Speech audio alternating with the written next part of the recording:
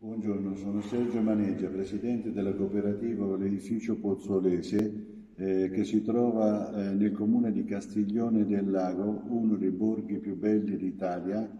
eh, situato sulle sponde del lago Trasimeno, eh, splendida cornice e umbra. la nostra cooperativa eh, è costituita da 250 eh, soci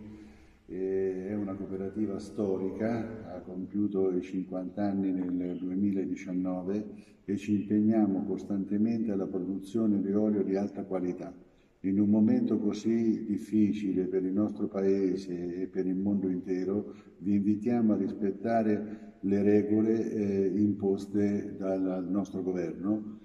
eh, sperando di poter ripartire prima possibile eh, vi aspettiamo nella nostra regione, nelle nostre aziende per eh, assaggiare i nostri splendidi prodotti agroalimentari.